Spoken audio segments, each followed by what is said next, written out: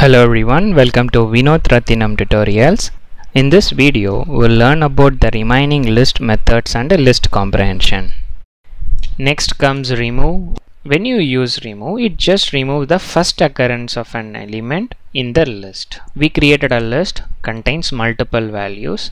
When you use remove, it will remove the value only once. In this example, I want to remove value 4.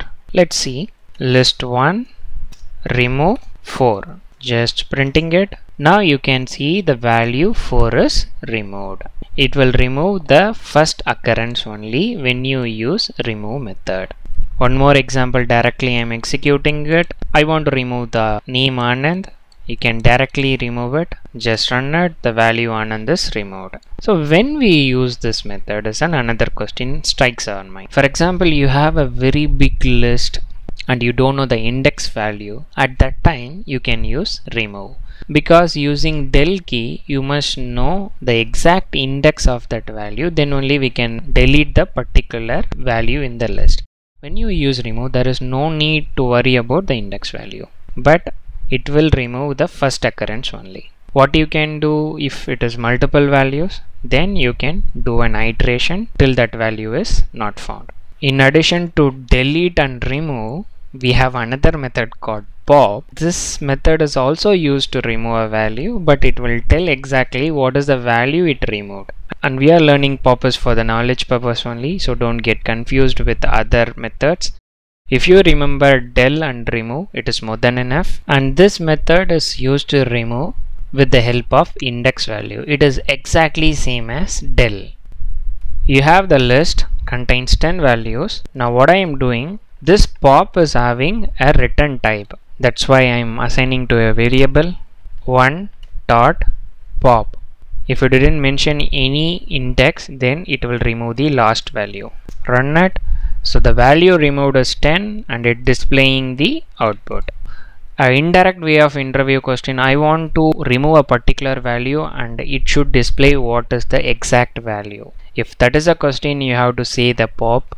Another example here now we will remove a value with the help of index. If we mention 2 0 1 2 pop 2 means it will remove the value Kumaran just run it. We have removed the value Kumaran and it is displayed. The next method is count this method is used to find how many times a particular value is available in the list it is straightforward print the variable name or list then count inside the count I want to find how many times the value 1 is available in this list. Just run it. 3 times number 1 is available inside this particular list. The next one is reverse. This method reverse the list and returns none. You have a list with 10 numbers. You want to print it like 10, 9, 8, 7 exactly in the reverse way. List 1 dot reverse. Just print it the list is reversed. One more example for string. For string, if you mention reverse and run it, Satish Kumar Anand Vinod. This is how we will use the reverse method.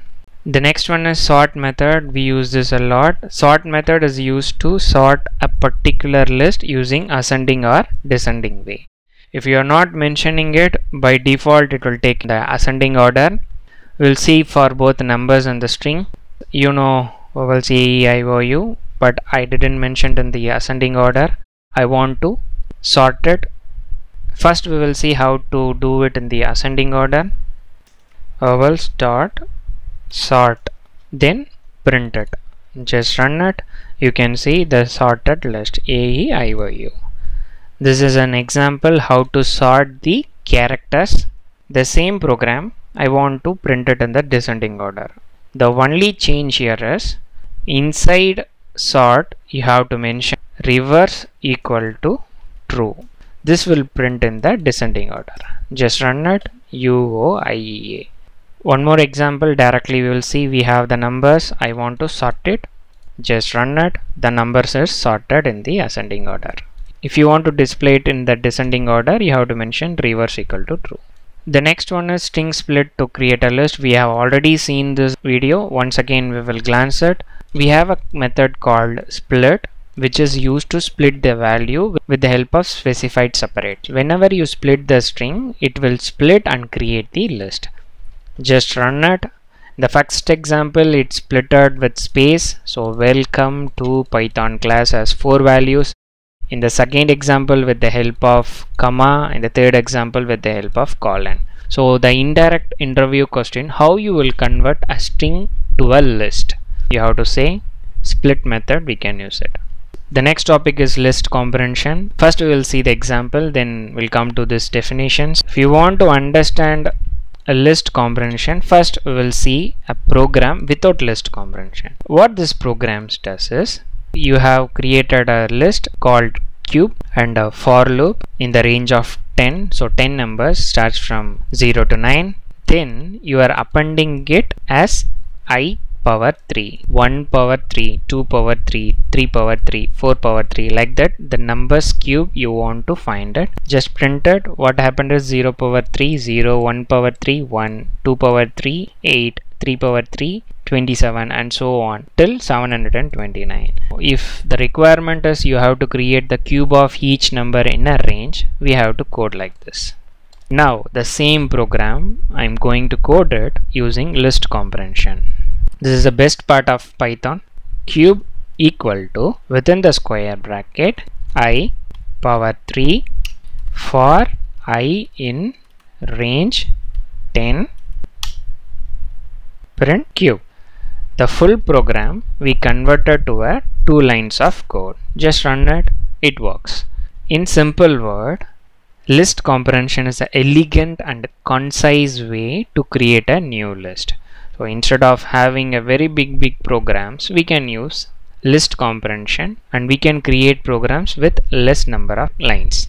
And only big drawback of list comprehension is this piece of code can be understood only by Python programmers but if Java coder seeing this piece of code at least he can guess exactly what this piece of code is doing.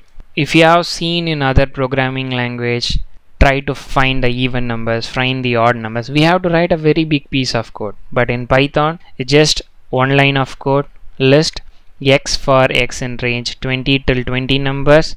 I want to print all the even numbers. You know very well the number percentage by 2 it's a modulus operator. If the remainder is 0 then it's an even number. If the remainder is not 0 then it's an odd number. Just run it within the range of 0 to 20 these are all the even numbers and these are all the odd numbers. This biggest program we accommodated in just two line of code. That's the best about the list comprehension but this will be mostly used by the advanced programmers. We have completed all the topics in the list data type.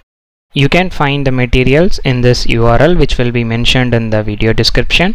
You can refer each topic and let me know in case of any clarification Thanks for watching. Happy learning.